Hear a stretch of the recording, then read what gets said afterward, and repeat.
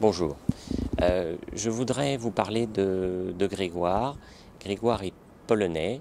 Euh, on l'a trouvé sur un banc, boulevard Haussmann, pas très loin de la gare Saint-Lazare, avec euh, trois autres compagnons, deux Slovaques et un Français.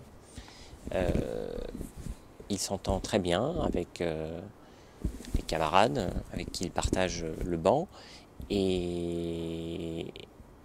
on a prié ensemble à la fin, après avoir euh, resté quelque temps avec eux. Et, Grégoire, euh, qui est polonais et qui a récité euh, ses prières en polonais après nous, s'est mis à pleurer.